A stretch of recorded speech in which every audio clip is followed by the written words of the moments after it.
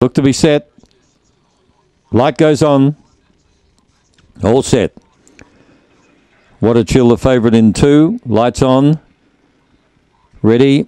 Racing, what a chill, got away on terms with Al Hanna. He's going to lead. What a favourite They're going to the front, but Magic Train is going around them. Falling was Roland Zach. Magic Train in front of What a Chill, leaving the back by about a length. Three lengths further back then was Awesome Nemo. Further back, Emily Avenue, Al Hanna. Well back was Indian Light and As a Baby in the straight. What a Chill takes over, careers away, and wins by a three. Another winner for Dicky. Three lengths uh, to Magic Train, Emily Avenue.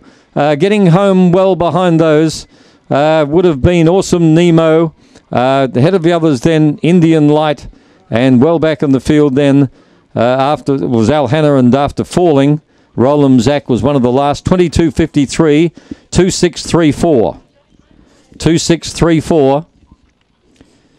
What a chill. Led early, was outpaced by Magic Train, but then railed up on the home turn and put the issue beyond doubt. Number two, what a chill. Dicky wins a race every day. Black and White Dog by Bit Chilly from Who What Where. Raced by P. McCowan, R. Pierce, and B. Heading. May 14. So he's only a very young dog. He's now won seven of